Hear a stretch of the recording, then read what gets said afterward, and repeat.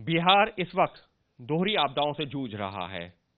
पहला, कोरोना की मार और दूसरा, वहाँ पर जो बाढ़ के हालात बने हुए हैं।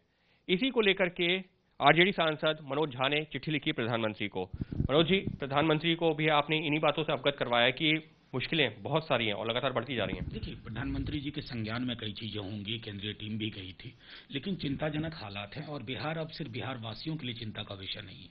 ये देश के लिए सामूहिक चिंता का विषय हो गया है। अभी जो खबरें आ रही हैं, पटना में जो लोग जाँच के लिए जा रहे हैं, हर दूसरा व्यक्ति संक्रमित मिल रहा है। मुफस्सिल जिलों की अगर बात करें तो हालात और भी खराब है। रसूखदार लोगों तक को बेड नहीं अवेलेबल है। आम आवाम की बात ही छोड़ दीजिए। और ये मैं पटना, मुजफ्फरपुर, भागलपुर जैसी जगहों के लिए कह रहा हूँ, सहरसा, पूर्णिया, मधुबनी का तो ज़िक्र भी नहीं कर रहा हूँ। उसके अलावा, एक तो न्यूनतम टेस्टिंग के साथ ये आंकड़े आ रहे थे, संक्रमण का फैलाव देख रहे हैं, और उधर बाढ़। तमाम वो ज़िले, अगर आप गौर से देखें तो वो वो ज़िले हैं जहाँ प्रवासी मजदूर बड़ी संख्या में वापस गए थे। ये कोरोना आपसे कहता है दो गज की दूरी बनाओ, और बाढ़ के हालात उस दो गज की दूरी को खत्म करके रख देते हैं। प्राथमिक या जन स्वास्थ्य के की संरचना की, अधिसंरचना की क्या हालत है, हम सब जानते हैं। इसलिए मैंने प्रधानमंत्री जी से आग्रह किया है कि बीते तीन महीनों में जो हालात में बिगड़ाव, साढ़े तीन महीनों में हुआ, बिगड़ती हालात के मद्देनजर प्रधानमंत्री जी को पहलकदमी करनी चाहिए, चाहे विशेष पैकेज से हो, हैंड होल्डिंग से हो। मैं तो ऐसी चीज़ों का भी मैं प्रधानमंत्री को चाहूँ कि वो संज्ञान में लें वेंटिलेटर्स की क्या स्थिति है।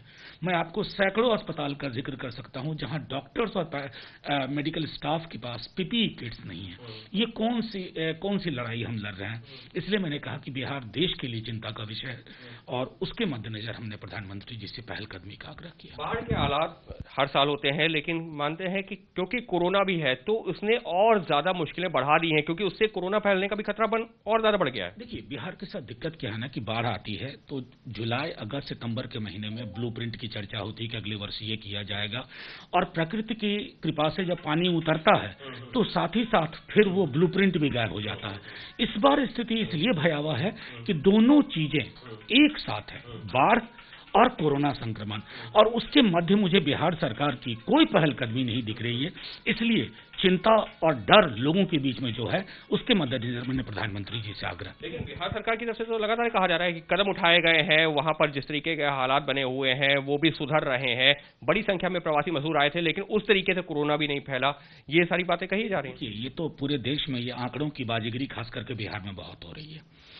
जाँच जब आप करेंगे तब तो आंकड़े मिलेंगे। अभी आपने थोड़ा जाँच बढ़ाया आंकड़े बढ़ने लगे।